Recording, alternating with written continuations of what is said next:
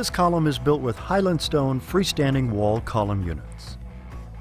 Start by excavating for the leveling pad.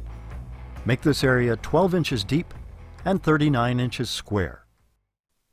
The leveling pad itself should be 6 inches deep, built in two lifts, and thoroughly compacted after each lift.